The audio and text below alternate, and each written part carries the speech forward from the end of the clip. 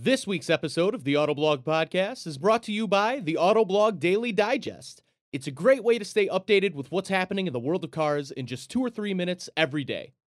Ask your smart speaker for the Autoblog Daily Digest to stay up to speed with the latest car news, or subscribe wherever you get your podcasts.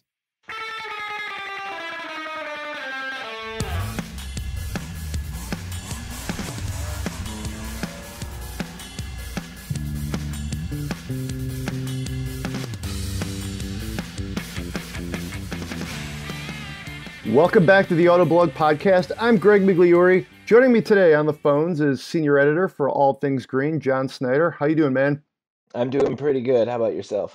I'm doing awesome. Uh, we thought it was going to be an early spring, and now it's 39 and sort of sleeting outside my house. So, so it goes. Special guest today, contributing editor Joe Lorio. How are you, man? Good. How are you guys? Good, good. Excellent. Welcome to the podcast. Um, Joe does a lot of editing for the site uh, throughout the week. You probably see his byline. He does some, you know, a good deal of freelance writing for us as well. Uh, and I believe Joe, you spent some time in the Aston Martin DBX, right? I did. Mm. Um, the end of last year, Cool. I was able to get into the DBX for a little while, which was a nice treat. Um mine was like British Racing Green, which seemed sort of appropriate. Um, and Greg, you were also in that car recently, correct? That's right. Mine was a gorgeous shade of. Uh, it was just kind of like a creamy white. The inside was uh, Aurora Blue. They said, and it was two hundred eleven thousand dollars. So it was, it was quite the uh, expensive crossover, but um, it was fun. It was a lot of fun. I even put a car seat in it. Uh, so we've got the the DBX in the show. That's one of the spotlight things. But we have another crossover that costs. Uh, geez, probably uh, a fourth as much, roughly, maybe a third. That's the Audi SQ5. John drove that. I'm excited to get into that because I actually did the launch of that one back in 2017, and this is the first major update basically since then. So that'll be cool. And then we have a new long termer at Autoblog, the Hyundai Palisade. It Yeah. joined the uh, Snyder household uh, about a week ago. Very Mhm. excited to see that. It's going to make uh, some road trips uh, as soon as a few days from now. But um, I cannot wait to take that up north to the UP this summer, and uh, it's a really nice vehicle. It's got a ton of uh, interesting gizmos on it.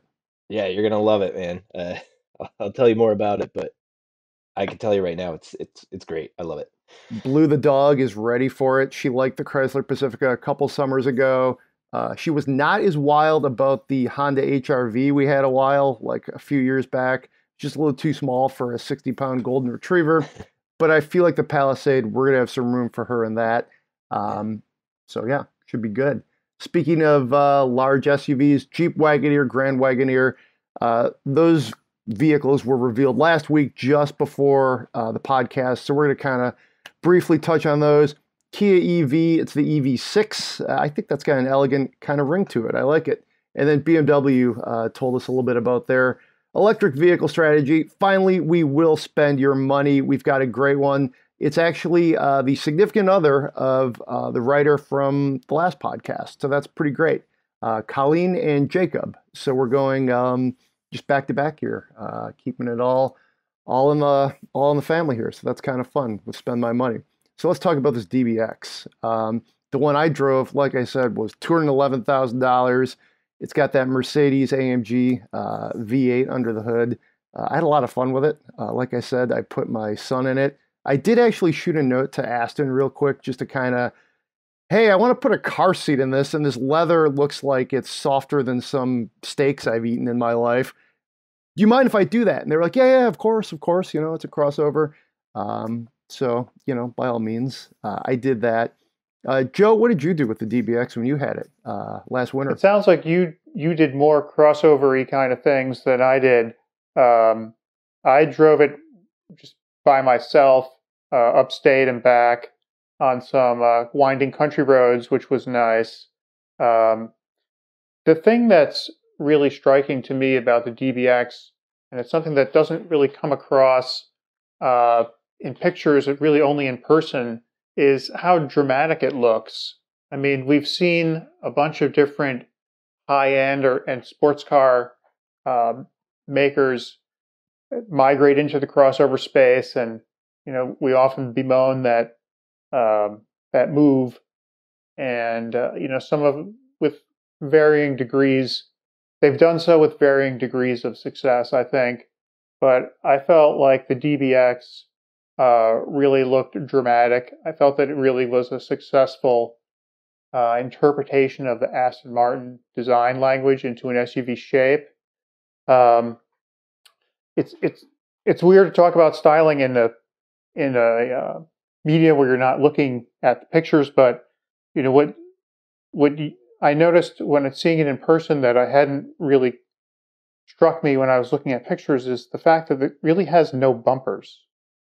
Um, look at the front of it; it's got the big Aston Martin grille, but not like comically ridiculously big. I think it's kind of sized to fit the size of the vehicle. And the leading edge of the hood, you know, the hood is very long. The leading edge of the hood is the most forward part of the car. So if you like nose it into uh, a telephone pole or something, I mean, it's going to be the front edge of the hood that takes the hit and not any like impact absorbing bumper.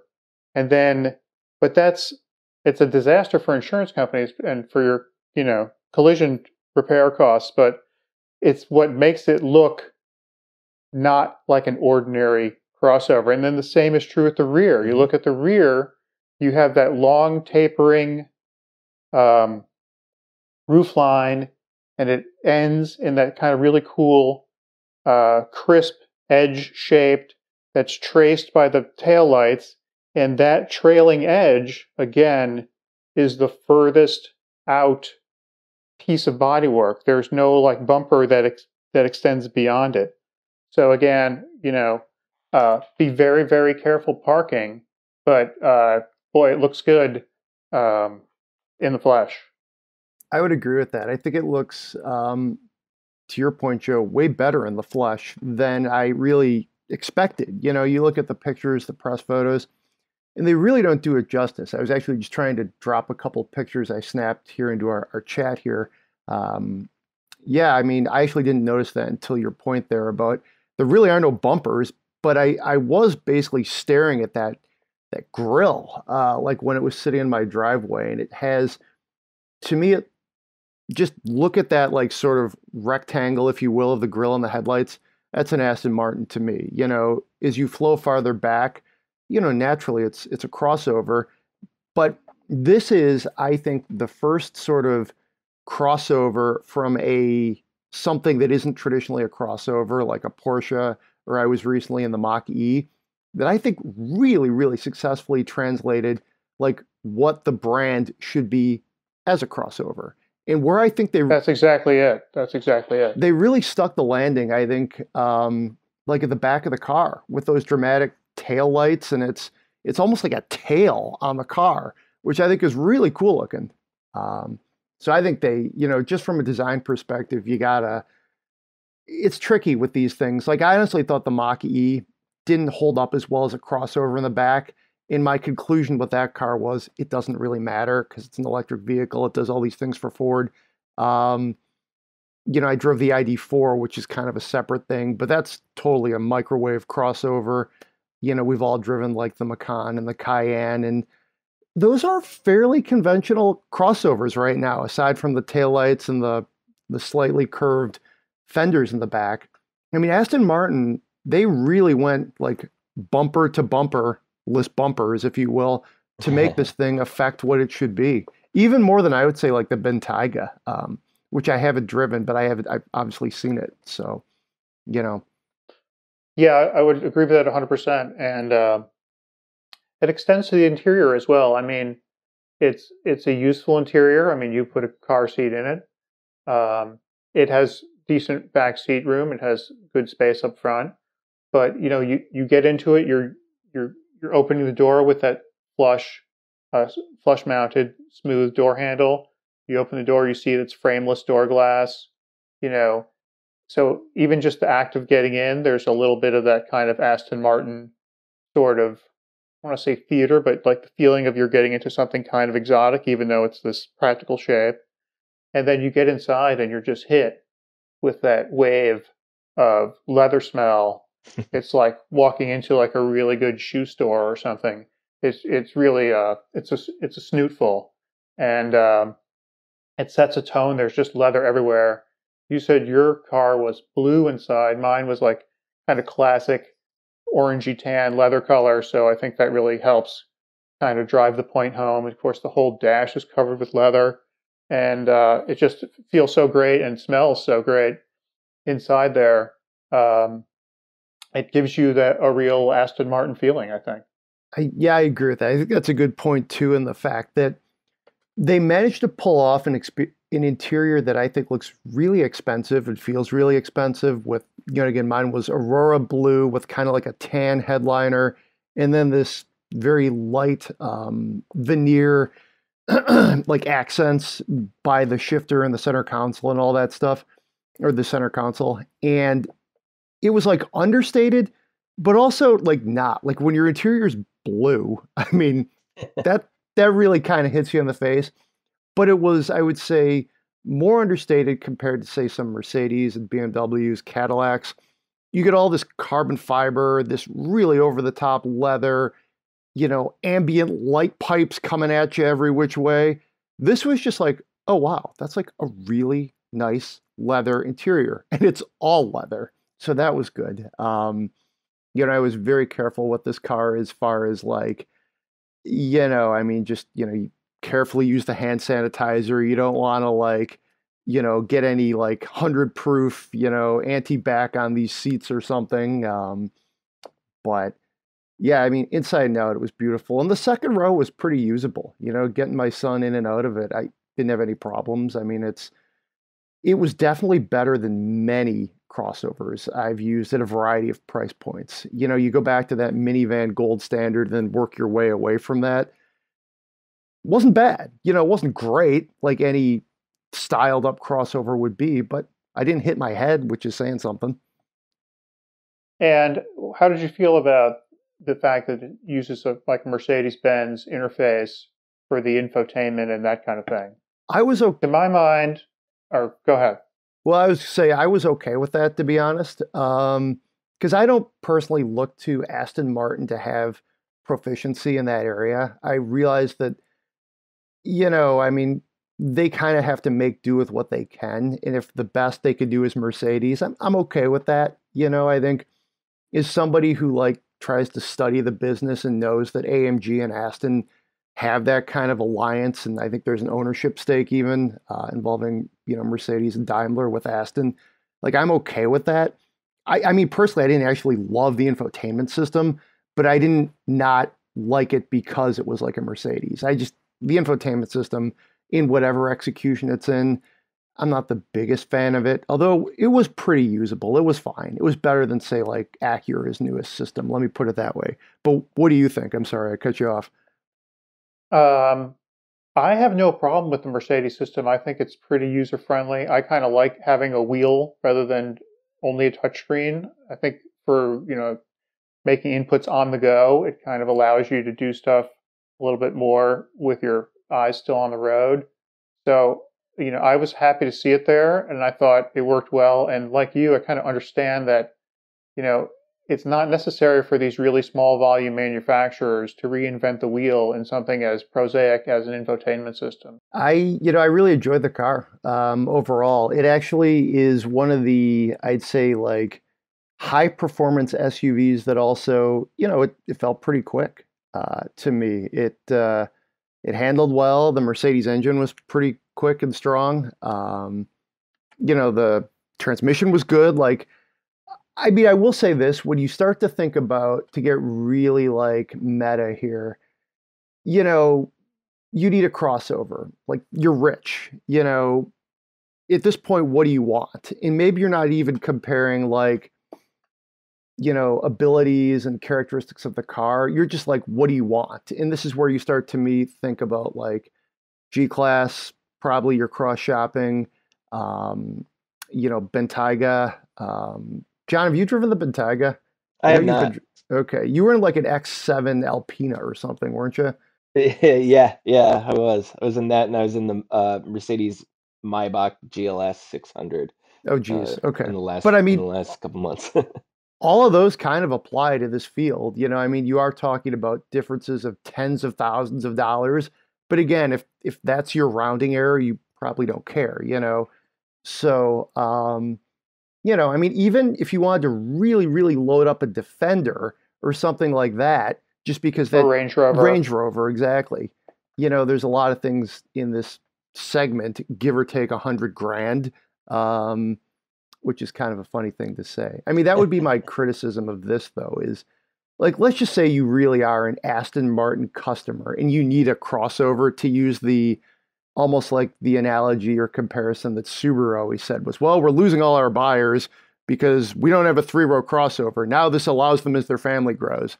You know, I don't know. Does Tom Brady really like, geez, I, I, I, I'm an Aston Martin spokesman and I'm just, I'm out of options in the Aston family. Now I got to go buy something else. Like, I don't really know how much of a real use case that is where the Aston buyer needs a crossover. But I mean, they got to be there, I think. At the end of the day, they need a crossover. And I think this is uh, executed better than many of their um, like colleagues have done across the industry. Um, yeah, I mean, it was fun.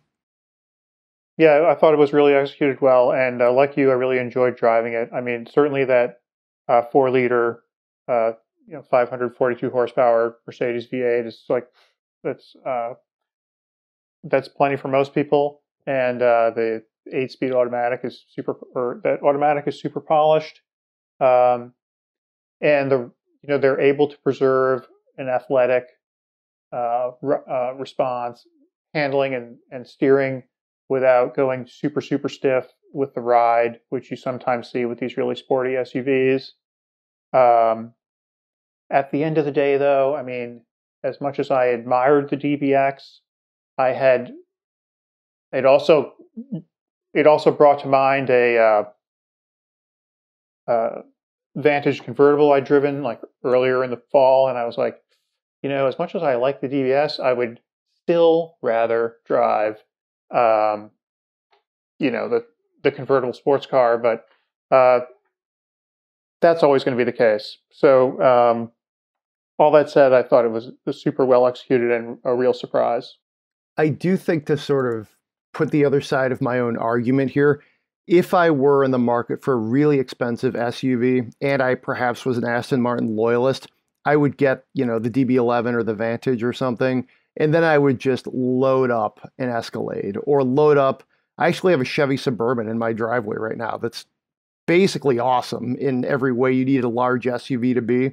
I would just go ahead and get the biggest, like, you know, troop transporter of an SUV and do that rather than probably do it this way and then have my driving enjoyment be in my DB11 and then have my, you know, family responsibilities in the Escalade or the Defender or whatnot. Or Range Rover. Or you're Range probably Rover. a Brit. You're probably an Anglophile, really. So you might want to keep it in the Great Britain. That's true. Family. Yeah. Cool. So that's the DBX. Uh, let's, I guess, cross over to the continent and talk about the SQ5, John. Mm-hmm. Um, how much did this thing cost? I guess we're dropping down tax brackets a little bit, but um... so so this one it, the it starts at uh, fifty-two nine before the uh, one thousand dollar destination charge, but this one was uh, optioned up to uh, seven, like almost seventy-two grand, um, which feels like a lot to pay for a, a, a Q5 essentially, you know. Um, but that said, it had you know it had like the adaptive suspension and all those goodies, and so it drove really really well.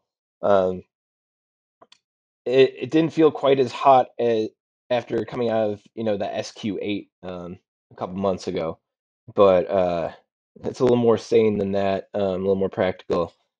But um, yeah, it was it was it was really nice to drive, very sort of car like in its driving. Um, uh, the the three liter uh, V6, um, you know, it's very quick, uh, but it doesn't necessarily feel super quick because it's it's very smooth and it, it's it's all it's handling all the power in a very calm way. So it'll dash to 60 in I think four and a half seconds, uh, four points, four point 4.7, something like that. Um, 4.7.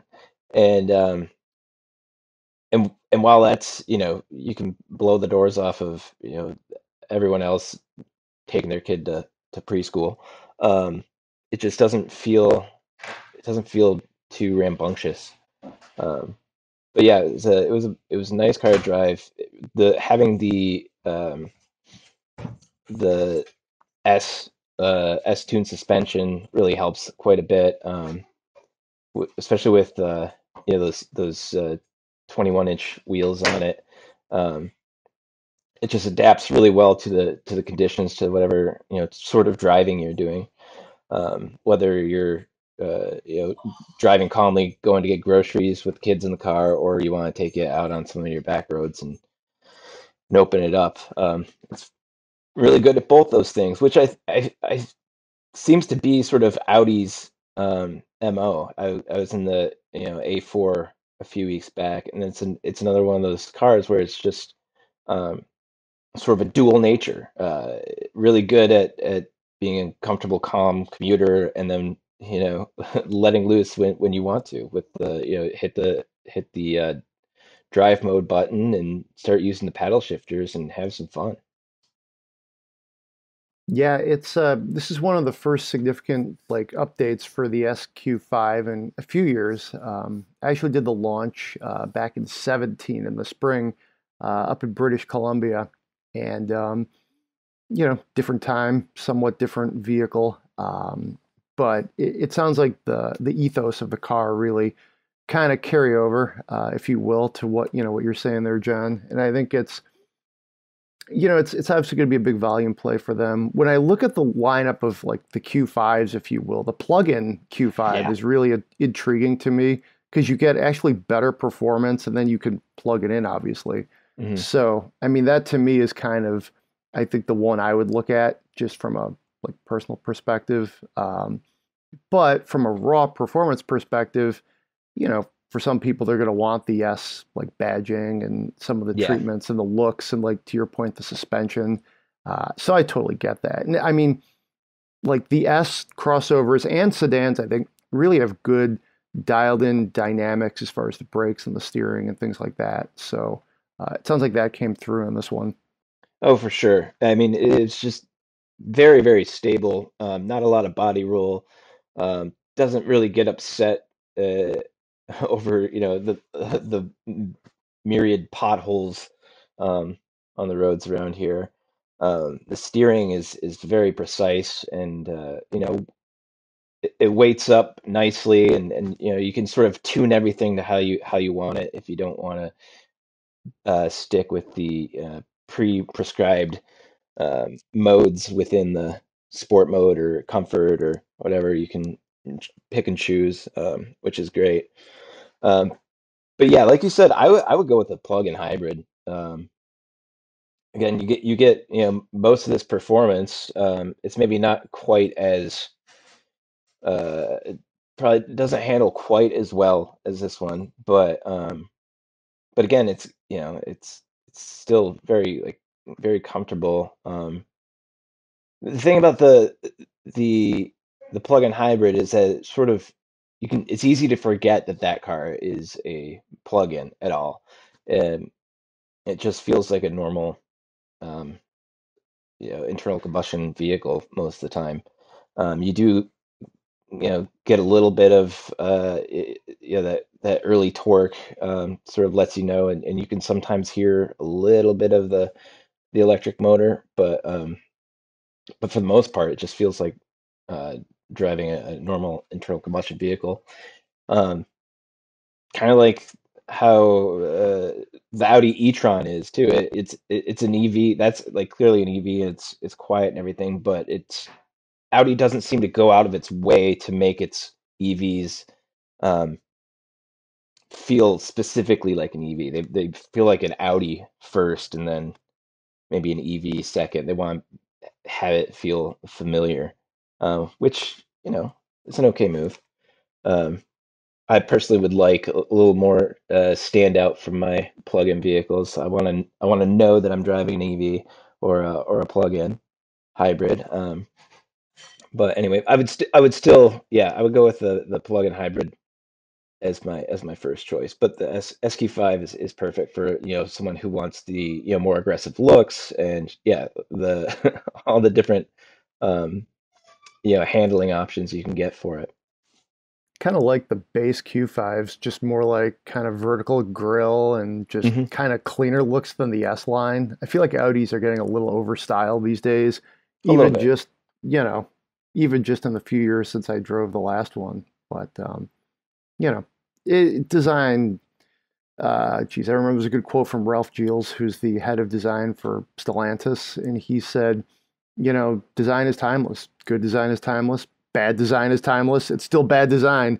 And I feel like that's sort of how uh, Mercedes and Audi and BMW too, especially, have been really going through this period of like, I would call it overwrought styling. A lot of curves, a lot of like excess lines, all sorts of things going on with the fascias, um, and it's it's fine. You know, the cars don't look plain like they did, you know, you know, years ago, but there's a lot going on there. And I think if to really kind of go off on a tangent here, I think Cadillac's look with like the uh, the CT4 and the CT5 is dressed up and clean, toned down considerably from where they were, like with the last generations of like you know the CTS, for example.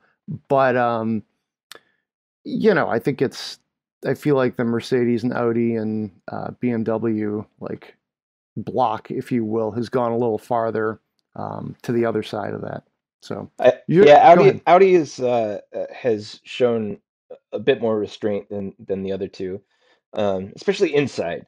Um, Yeah. inside the Audi, it's it's very very clean, um, very you know, uh, you know, sort of modernist, I would say almost. Um, a lot of clean lines, you know, not a lot of extra uh, uh, curves or you know, it, no design for the sake of design. It's it's it's it's simple and it's uh, sort of architectural, and I, I I like that. I like that quite a bit.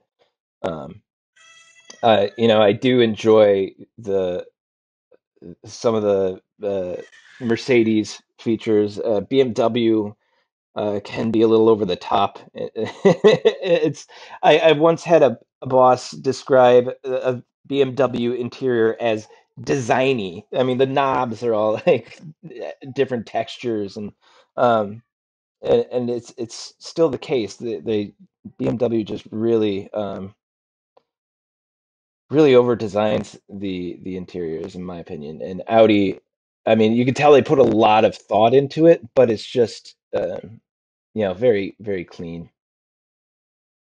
Well, let's do a bit of a fade here to the Hyundai Palisade, the latest addition to the Autoblog long-term fleet. Um, I believe, Joe, you've driven one as well, and we're pretty excited to add this to the fleet here. So, for those of you scoring at home, the Autoblog long-term fleet is the Acura TLX, which joined in January. That replaced the Volvo S60. Um, we're having a lot of fun with the Acura already. It actually arrived in my driveway, and then um, it's now passed over to road test editor Zach Palmer. John, you get the first crack the Palisade. Uh, what did we get? I honestly don't know. What did we get?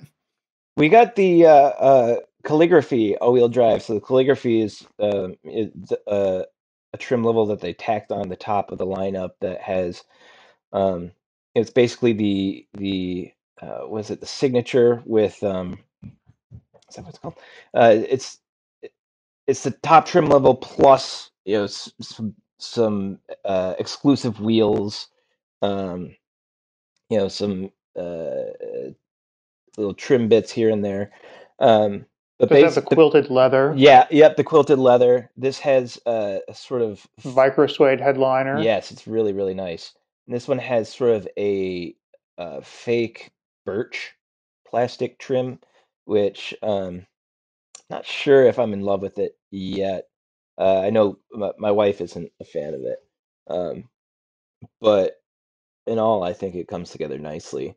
Um, the exterior. I think you guys are, Go ahead. you know, I think you guys are going to love uh, the Palisade as a long termer. Um, I drove, I had one a while ago, and I took it on a road trip from New York to Michigan and back, and uh, I anticipate you guys will be doing a lot of road trips with that thing. I think it's a fantastic, uh, loaded up long distance road trip machine.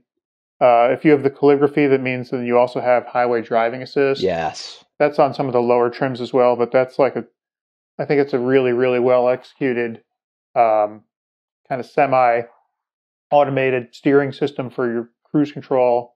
And I was able to use it for uh, hours on end on I 80, some of this kind of straighter big interstates.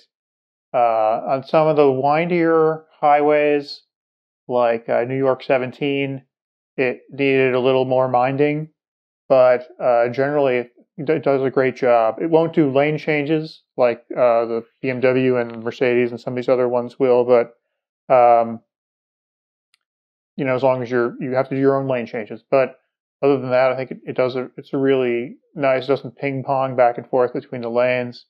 Uh, of course, you know it it's got tons of space inside. Um, including behind the third row seat, is pretty Mm-hmm. reasonable. Uh, one thing you you may have noticed already, but lift up the cargo floor. It like it lifts up, and then underneath there's a quite a big bay underneath. So even if you think like, oh, I don't know if I'm going to get everything in here behind this third seat, you there's a sort of a hidden compartment there that's actually pretty sizable.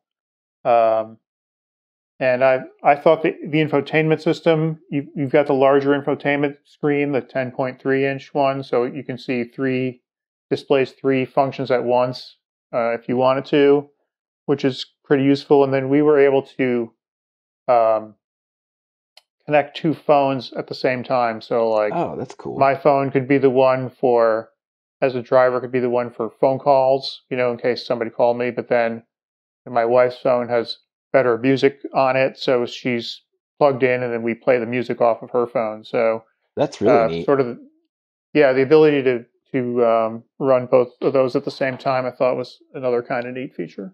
Well, very we're gonna we're gonna have to take advantage of that. We we're we're driving down to the Outer Banks of North Carolina um, in you know a week and a half, and with with two kids and two dogs in the car, so it should be fun. Um, but yeah, that's a neat feature. Um, to piggyback on what you said about the the assisted driving, it is really it's one of the better systems I've used. Um, it it the lane centering is is very very precise. I feel like, um, and yes, i in some of the the, the uh, steeper curves on the highway, you do have to give it a little nudge. Um, but you know, uh, when it's straight or even you know slightly curvy, it, it really follows the lanes really really well. Um, it's a great system, and then and then this has the you know the camera feeds for the blind spots when you use the sig the turn signal, which is um, just a wonderful feature. A really good peace of mind when when you're you know making lane changes in traffic, or even even when I'm turning into uh, my son's school parking lot. You know, I could sort of see the curb and know I'm not going to curb a wheel. Um, it's sort of a tight little driveway there, so um, yeah, it's and it it's been uh, really really pleasant to drive so far, and the use of space is fantastic. The yeah, that rear cargo space behind the third row um, is is bigger than you see in, in most three rows. Usually, you know, you can fit like a couple grocery bags behind a behind a third row seat. Um, this you can fit quite a bit more. Um, and those seats, uh, they go up and down uh, electronically. There's you know buttons in the back, and so you just hit one of those, and it folds flat. Um, you know, fighting with different levers or or you know pull ropes to to try and um, get it in place. It just does it for you. Um, very very nice. Um, and yeah, that that that quilted leather is is a nice touch. It really feels like um, a higher end vehicle than you would expect. Um, this one, uh, the sticker on it is 49225, which which is kind of a lot, but considering, you know, the size of the vehicle and the amount of is it's packed with content. It's got everything. Um, it just feels really, really nice. I would I would put this up against you know luxury luxury brands any day. Um, yeah, and, and the the infotainment is it, it works well. Uh, that dis, that displays is crisp. Some of the if you are using the touch touch screen, it's pretty wide, so you have to reach pretty far for some of the some of the controls. But um, everything's laid out cleanly. Um, yeah, I'm looking forward to to driving it uh, for multiple multiple hours on end. One thing that blew me away the last time I drove a Palisade, um, which was sometime last year, was this is the first time Hyundai has really attempted a vehicle like this, a large three-row crossover uh, that's has all of these things and competes at this size, um, and it's really good. You know, uh, well, it does kind of follow in the tire tracks of like the Santa Fe XL or whatever, Mm-hmm. and then there was the Veracruz years ago, but Oh, they're, geez, they're yeah. just not on the same level as this thing. I mean, it's it's just such a better execution. Um, you know, those were so easily forgettable, and, and and this is really kind of a standout in its in its field. And a lot of like what you're talking about, John, with the power folding third row seats and stuff and you know the 360 degree view camera and the blind spot view monitor which besides on the highway another great use case for that really is if you're in a urban area like maybe you're in downtown ann arbor or in detroit or Mhm. someplace and there's in the summertime there's a lot of cyclists Yeah. around you're sitting at a light you're waiting to turn you've got your signal on you know normally you would not be aware of a cyclist coming up on your right along the curbside and here like you see it in the screen you know it's it's such a great um way to have awareness of that you know. So and it's got like you say it's got all these high end features and that really kind of puts it um in a field with with other with premium brand products and that's what sort of makes the price even at the upper in the very upper 40s seem not that seem quite reasonable. Hmm This seems is like a actually good deal. Yeah. This is actually uh, maybe not the calligraphy trim, but the Palisade is on the maybe sort of at the top of the short list of uh, cars my my wife wants to get to. She has a, a an old Mercedes GLK diesel, and now that we have two children, um, uh, it gets pretty cramped when we go up north. Um, so this is this is uh, this road trip will sort of be the test to see, but we we might end up with um, one very similar to the one that's in our driveway right now. we'll see. Uh, even the same color. She, she wants that. It's like a sort of. Uh, it's called Moonlight Cloud. It's almost like a dark navy blue. Um, really. Yeah, that's really a nice looking. color. Yeah. What? Um, okay. Uh, so Palisade or Telluride? Question for the group. If you had your choice. You know, I personally like the Telluride design a little better. I mean, it's a little more, uh, looks a little more like a rugged off-roader, whereas this looks more like a suburban, uh, you know, family vehicle. They both they both look great. Um, I believe the Palisade has a little bit more uh, uh, rear storage than the than the Telluride. Um, but I mean, really, sort of take your pick. The if if buying something made in America is really important to you, um, the Telluride is made here in America, uh, while the uh, Palisade's made in Korea. Um, but really, I mean, there's there's not a lot different in the way these these drive or in the uh, available content. Yeah, I think you're right about that. Um, it's it's really down to a matter of personal preference, which actually almost speaks to the sort of weird um, brand sort of parallelism between Hyundai and Kia. You know, like they haven't really defined what makes something a Hyundai versus what makes it a Kia, but that's sort of an issue for them to figure out.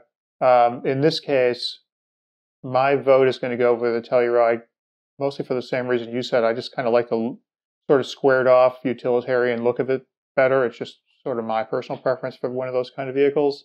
And I also like the fact that it has a regular gear shifter rather than an array of push buttons. Mm. Yeah, I d- Um, didn't think of that. that's like a kind of a personal pet peeve of mine against like kind of weirdo gear shifters. So um, there's not much other reason to pick one or the other. So that it, you know, i am going to pick it just for those two kind of uh, minor reasons. Interesting. I really flip a coin on this one. I originally went Telluride, then I like kind of waffled and went back to Palisade. I'm going to go Palisade just to go different here and just to be contrarian. Although I think my actual preference, broad picture, is the Telluride, but just right now my mood is Palisade. Uh, and I did actually randomly go to that Telluride factory way back. Uh, I think before they made Tellurides, it was on an Optima drive. They made us drive all the way I forget where we were, but it was like a five hour drive to go see the factory, which is cool. That's great to get that kind of context. But man, that was a long drive in a Kia Optima. Um, is that is that the one in uh is it in Georgia or Alabama? It, it's like West Point, Georgia, I think. If I'm yeah, I I, I believe I went right. there too when when uh the you know previous or maybe two generations ago uh Sorento uh was was coming out toward that factory. That's very random. We may have been on that same press trip at that. no. I was on that trip with uh, Jeremy, uh, Jeremy Korzeniewski. Okay. Well, I would have uh, been for Autoweek at that time, so I would not. Oh, it's possible yeah. all three of us were there. I don't know. Um, on that note, let's transition to some news from the present decade. Um, we'll kind of run through the segment here pretty quick. A uh, couple EVs, but first let's rehash the Jeep Wagoneer slash Grand Wagoneer from last week. Um, real quick, just initial impressions. What do you think, Joe? You know, I'm a super fan of the classic Grand Wagoneer, and so I've been waiting for this thing to, to come for like a long, long time. I mean, uh, Stellantis slash FCA should has they've been promising a new Wag, Grand Wagoneer for going back to like the I don't know at least like 2014, if not yep. sooner, if not earlier. And it's like I can't believe it took this long, particularly in a segment where the margins are so rich. You would think that they would want to, uh, you know, get this thing out the door and into showrooms. I, you know, I think the styling of it is okay. Uh, I would have liked to have seen thinner pillars. I, the the, I'm kind of off put off by how thick the like the B and C pillars are. I sort of like the upright squareness of it. I think the grill is fine. Um, but what's a little bit weird to me is sort of the positioning. I mean, first of all, it has no Jeep badges because they're going to make Wagoneer its own sub brand. And yet, Wagoneer is really kind of stands for the biggest Jeep. So how is it going to be a sub brand? Are they going to make little baby Wagoneers and then that would compete with regular Jeeps? Um, it's hard to see what that path forward is there, but I guess they have some plan. And then I, who else thinks that maybe Wagoneer and Grand Wagoneer, they're both going they're both going to have um, longer versions, sort of like Suburbans as to the current Tahoe. So there'll be like a Wagoneer L, presumably, and a Grand Wagoneer L. And then the division between Wagoneer and Grand Wagoneer is one of fanciness. It, it seems to me that it would have been kind of easier for people to follow if the Grand Wagoneer was the standard wheelbase, or the regular Wagoneer was the standard wheelbase one, and the Grand Wagoneer was the suburban sized extra long one. And then you could just have you know trim levels and ascending um, hierarchy of trim levels within each one of those models. So that's I think that's a little kind of weird to follow. Um, so those are sort of my initial thoughts. I'm a little confused by that part of it, just like what you said, Joe. Like just trying to like dissect which one is which and where they fit and which one has all the good stuff on it and which one is a little bit smaller. It's it's a little confusing and I think it's a little frustrating because one again to your point, Joe.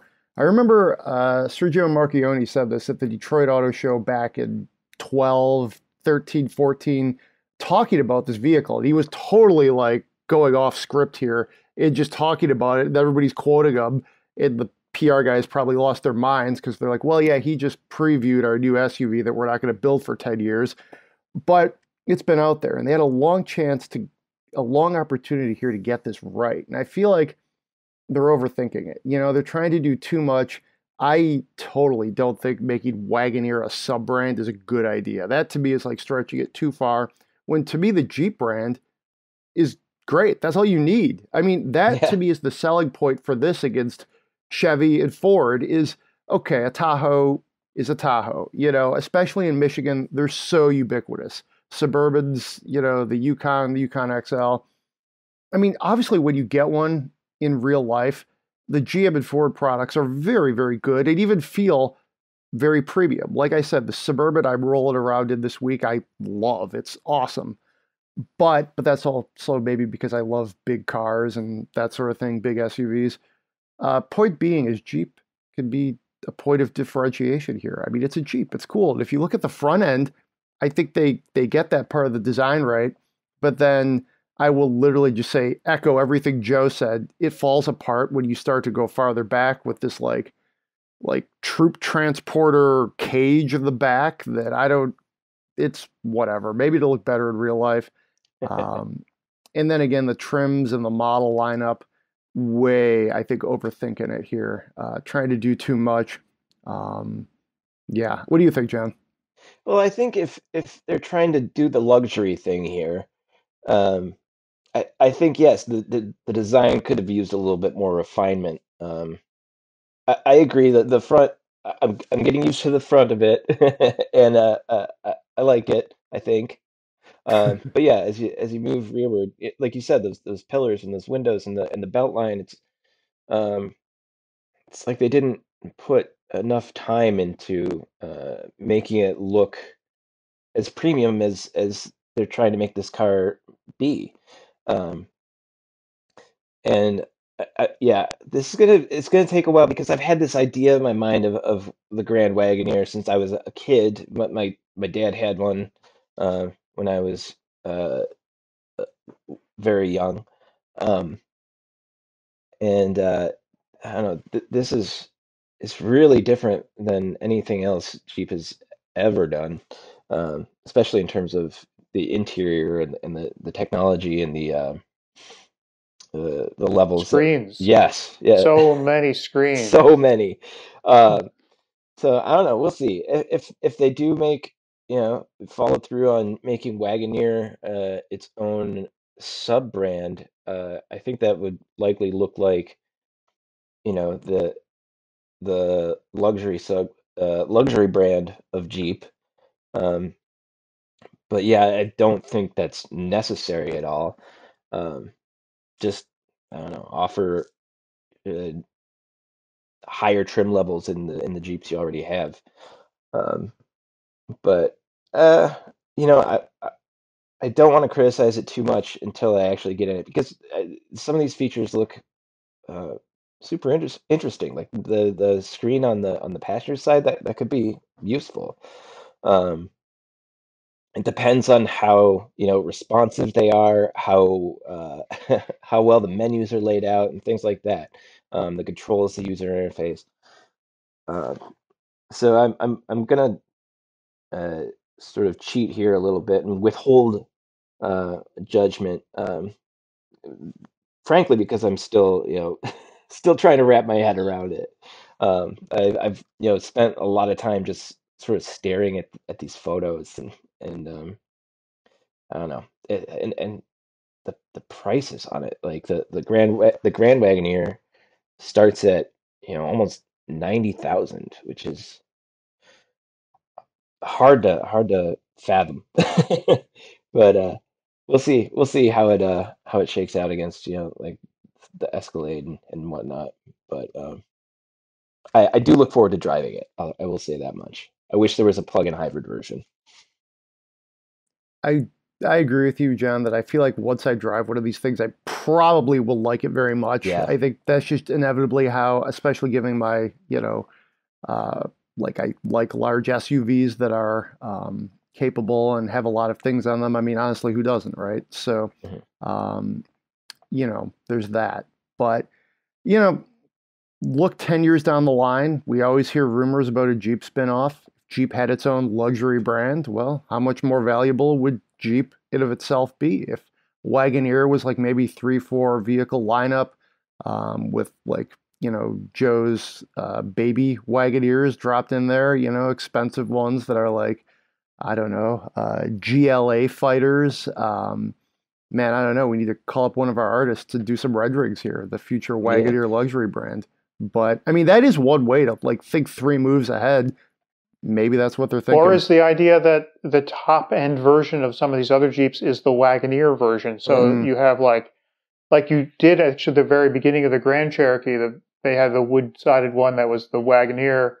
I mean, maybe you'd go back to that instead of the Grand Cherokee, you know, limited um, summit, whatever, whatever, whatever. Uh, the top one now is the Grand Cherokee Wagoneer, and the top Cherokee is the Cherokee Wagoneer, and the top Compass is the Compass Wagoneer. Well, I mean, I don't know how far you can take it down, but uh, maybe that's the thinking instead of separate additional models, but I don't really know. I actually think the wagon, it, it could be. I don't know. I mean, at this point, we're really spitballing. I think, I actually think they're really changing the Wagoneer meaning too, to go back to like what you mentioned there, John, the Wagoneer yeah. that, you know, your dad had. It's like, I don't know. I mean, the Wagoneer was never just some like real cheap thing. I mean, it always had some, you know, attainability, some aspirational qualities. But yeah, I don't know. I, I feel like they're they're messing with the meaning of Wagoneer a little bit more than I almost like. Uh, perhaps you know today's dollars that means something different. Um, I don't know. I guess I was less worried when Chevy rolled out the Blazer and slapped it on a midsize crossover with a flashy grill, and people were like, "Oh, the Blazer." It's like, well, okay, whatever. They gotta put a name on a crossover. Here you go. They're gonna play the hands that they have, the cars that they have. I don't know. Wagoneer again because there's so much of a buildup, and it's a Jeep. Like, you know, there's a lot of things that go into this that make it a little more um, fraught. I think potentially uh, with you know how this plays out, and you know maybe they'll nail it. You know, give it a couple years and they'll get it all right. Um, Mercedes and BMW, who seem to be the brands that we're criticizing a lot in this podcast without having actually driven them recently, um, have done a lot of things with AMG and M and changed the meaning of them, and it's it is inevitably kind of turning out okay. Uh, it just took them a while to get the translations right. So, mm-hmm. so speaking of BMW, John, why don't you take us through these electrics that they're unveiling?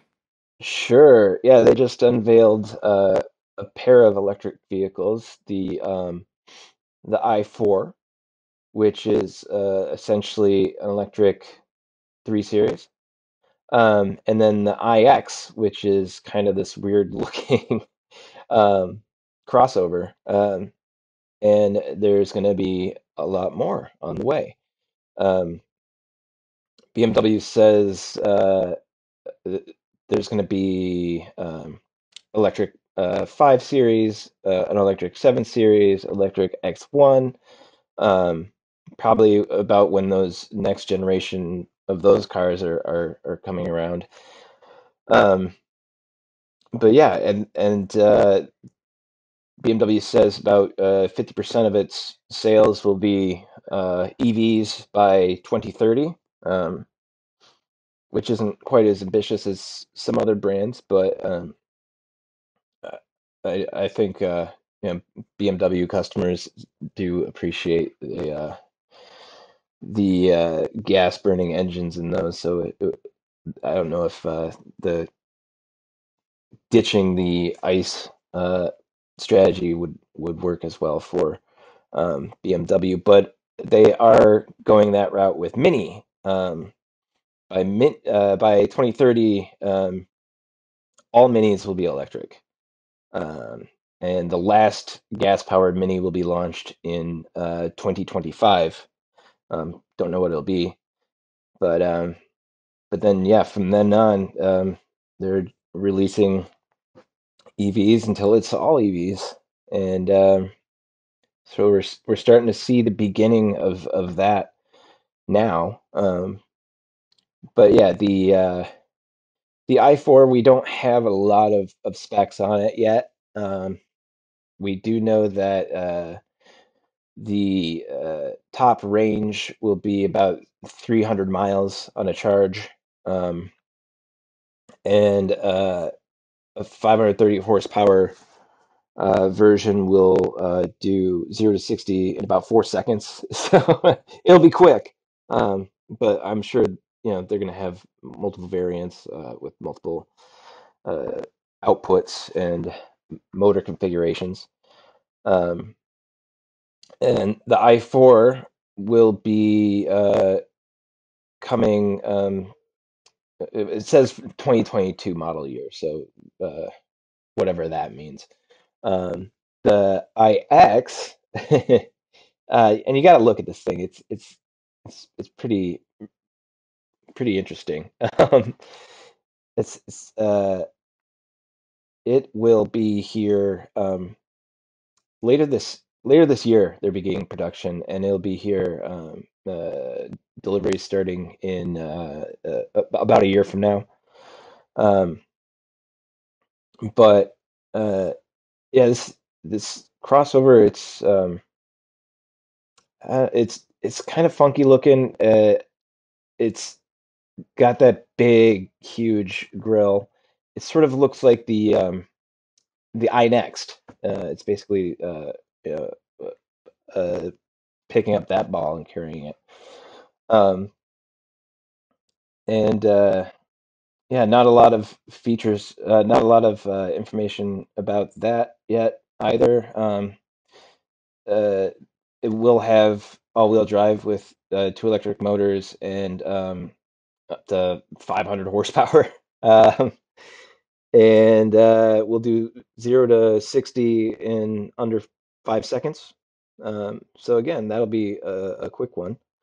Um, but yeah, uh, interested to really interested to to uh, get behind the wheel of this this IX because um, it's just sort of bizarre looking. it's pretty wild looking. You're right. I think um, I think it's interesting to see BMW sort of really um, like really get into EVs at this point, at least publicly, and chart what their path is going to be. I mean, they were pretty willing to like look at internal combustion engines and diesels for quite some time, and I think um, obviously they've been working on this electrification strategy for a bit. I mean, they did have the iCars, which they put front and center before a lot of people. Uh, mm-hmm. You know, mm-hmm. the i8 and the i3.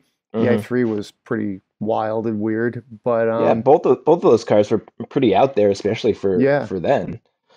And... So they've been kind of like playing both ends, if you will, almost like I don't want to say ignoring climate change, but they were like, you know, looking at other like, hey, we're going to keep these traditional things, but mm-hmm. also we're doing all these other things that other people are doing. So kind of a, you know, incongruent approach, but I think they're kind of, you know, figuring out what their path is. And I mean, I think they're also sort of getting their story right as we look at like, you know, geopolitical winds and what's going on here. Like, you know, they're they're definitely getting the right messaging out with these these kinds of cars. Um, so we'll see. We shall see. EV6, quick thoughts to the room here from Kia. I'm getting some. Uh, I know it's it's you know a completely different vehicle, but I'm getting some uh, Kia Soul vibes from the the greenhouse of it. Um, it's another one that we don't have a lot of information about, but uh, it's on the uh, uh, uh the new Hyundai uh, eGMP uh, electric vehicle platform that the Ioniq 5 is using. Um, and uh, you know, there's going to be it, with that and that that platform is is designed with rear wheel drive in mind, with uh, you know all wheel drive capability. So um, we'll probably see a rear drive and all wheel drive versions of that.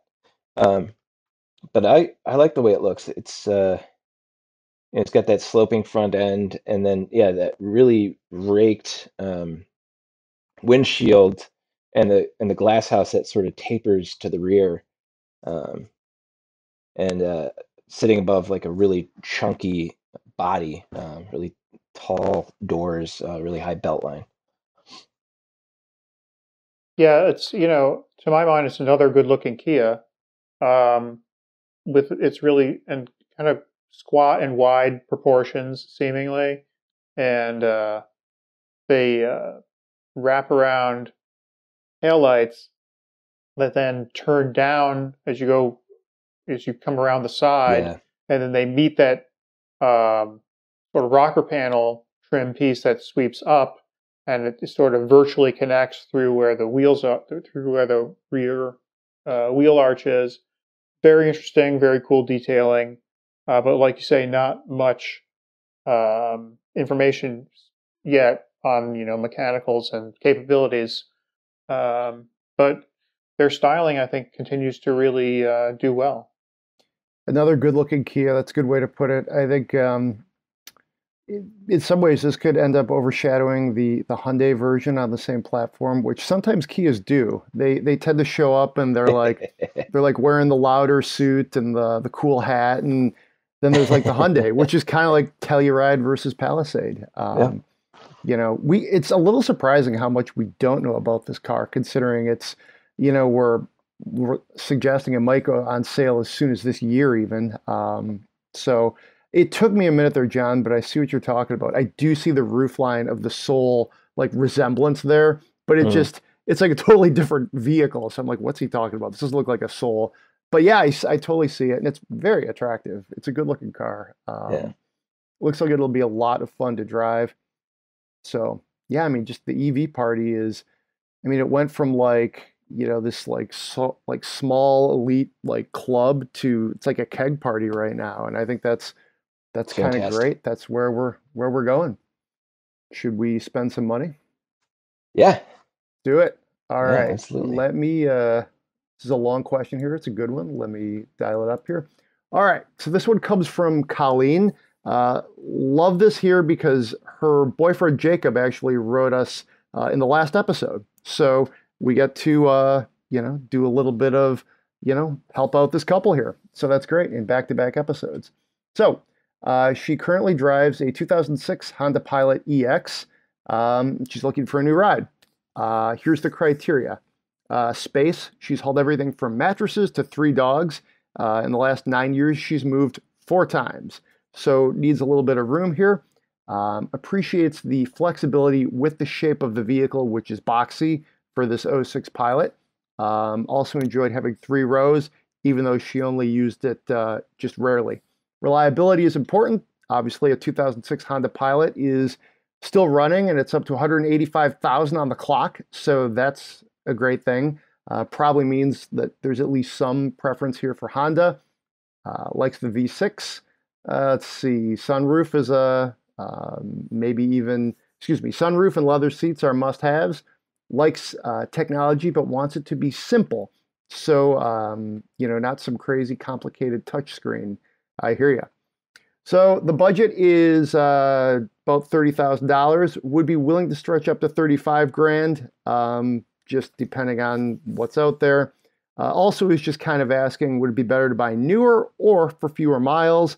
Um, couple other things here. Um, let's see, the pilot's AC broke, so we got to get this answered quickly.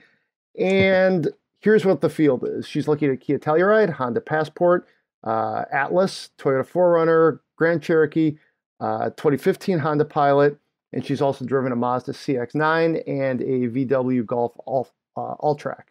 Um, even considered some mid-sizers like a Mazda CX-5 or a Sorento. Previous Subaru owner as well as a Honda Civic. Okay, I'm out of breath. My voice is getting scratchy. Uh, I will throw it over to you, John, for your impressions. Well, uh, it sounds like um, a newer pilot would would uh, suit her quite well. Um, you know, if she likes sort of the simplicity of the interior and the utility of it, um, I think uh, you know the just staying with that nameplate would. Um, i- i- if it doesn't sound like she's sick of it, it just sounds like this one's uh, you know uh, lived a long and useful life. Um, so I think uh, that might be what I would do. She has some other, you know, interesting ones on it. The the, the Kia Telluride we talked about. The, I mean, look at it. If you can, if you can find a, a, a used one in your in your price range, you can get a, a base one, uh, a base Telluride in that uh, price range. But if you could find a used one um, with maybe a little more content, that might suit you better. Um, and then um, mentions the Sorento, which uh, which I really like. The the the new Sorento um, uh, starts uh, about thirty thousand, and um, gosh, it's really nice. It might not you know have quite the space, but it's it's, it's a spacious vehicle. I mean, it's uh, got a lot of room. Not quite as much as as maybe what she needs, but um, it depends on how often she needs to make use of all that space. Um, but honestly, I think sticking with with the with the pilot and just uh, buying a newer one uh, would be a, a, safe move. All right, uh, we'll throw it around the horn to you, Joe. What do you think? Yeah, I mean, when people ask um, for advice on a new car, I mean, the first thing I always say is like, "What do you have now?" and how come you don't want to just go get another one of those? And so, in this case, you know, it seems like a, a, I mean, she's looking at kind of late model used probably, and she could get a late model pilot that would do much of what she uh, is looking for, would do much of what she wants from her new car. So, but maybe she's like she likes the squarer looking SUVs, like the list that she's given is some of the more squared off ones. And the newer Pilot, compared to her original version Pilot, the, the first generation Pilot is very squared off and utilitarian looking and actually pretty handsome to my mind in, in sort of a plainish kind of a way. But the newer one is, is a little more rounded and maybe a little larger, and maybe that's why she's kind of looking around for casting around for alternatives. Um, if if she's going 185,000 miles with basically just regular maintenance, that sets a pretty high bar for reliability. Um, so one thing that I thought of that would meet that bar would be a Highlander. Uh, particularly, she could get a Highlander hybrid, which would improve on the fuel economy of her V6 pilot by quite a quite a large degree. Um, it would be a little larger, but not super huge. I mean, in, in that class of vehicles, like she also mentions the Atlas, the Atlas is really, really big. Uh, at the larger end, and the Highlander is more in the medium or even medium smaller end. So that's one that I would put at the top of the list to have her check out. Uh, yeah, a Telluride would be good also, but it's only been out, you know, for uh, not a long time, yeah. so I don't know that there's going to be a lot of used ones there hanging around. they're they're hard to find. I, I, was looking, but there are a few out there, uh, but they seem to get snapped up pretty quickly. Yeah, exactly. And she mentions a 4Runner, like liking the looks of those, but that's going to definitely get worse gas mileage than she's used to, although it would have the longevity for sure. Um, and a Grand Cherokee, you know, would have that kind of utilitarian sort of straight edge, kind of handsome styling that she seems to be fond of, and would certainly have like kind of deluxe features that she was looking for. But I don't know that I would predict 185,000 miles of trouble-free motoring uh, from a Grand Cherokee, a little more maintenance intensive. So I think the top of my suggestion list would be a couple year old Highlander hybrid and look for a higher spec one to get uh, leather seats and a great big sunroof. You'd have to get used to a CVT though, which she said she does, doesn't want, but it might be worth the trade off. Honestly, the CVTs are, are, are getting better with every passing generation. Um, and yeah, well, if she didn't want a CVT, you could always go back and get the regular V6 version, um, which wouldn't be as economical, but still would probably be like a, a MPG or two ahead of a 2000 um, a pilot that's you know 15 years old. Yeah, in my mind, the CVT is worth the trade off, uh, but if it depends on if that's a hard no for her. But because uh, I I like I I would go with that with the hybrid myself personally. It's an interesting um, way to look at it too. Yeah, not being totally sure how she like how hard of a no the CVT is. Um, you know, I guess, write us back. But a couple of my impressions here are it seems like there's a bit of a preference for Honda. And I feel like sometimes when you read the spend my money questions, you can sort of almost like try to like read between the lines. So I will slightly confirm, you know, I guess the bias here of saying, sounds like maybe you do want a Honda Pilot, try and find a good late model one, and that could be one uh, of your options. Uh, the Passport is different than a Pilot. Um, so you might just want to take a look at that. I found that to be an interesting crossover. I'm honestly not sure if that would be the one.